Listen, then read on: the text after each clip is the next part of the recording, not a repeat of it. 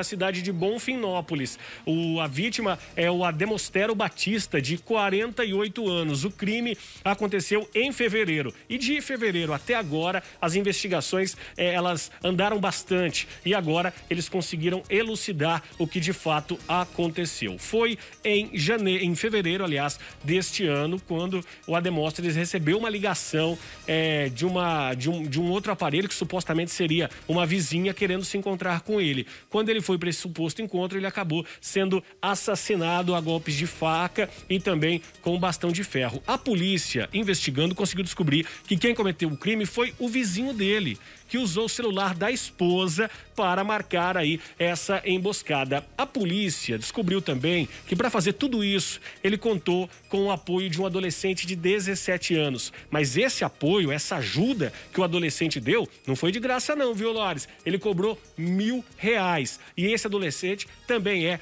de Bonfinópolis. E na semana passada, esse adolescente falou com o delegado e deu detalhes aí de como tudo aconteceu. A nossa equipe recebeu um vídeo do delegado dando detalhes de como foi aí a conclusão deste inquérito. Vamos ouvir agora, ô Loares, um pedacinho do que diz aí o delegado sobre esse caso em Bonfinópolis. Vamos ouvir.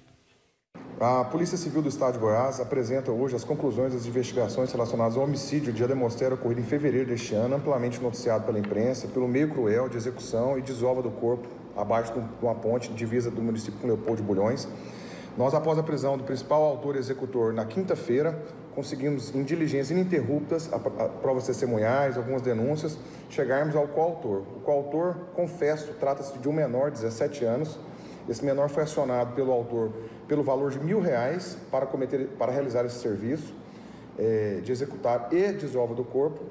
E o principal ponto que levantou interesse da investigação seria que o autor teria pego o celular da sua esposa e mandado uma mensagem para a vítima, simulando que, se que seria ela e um encontro íntimo.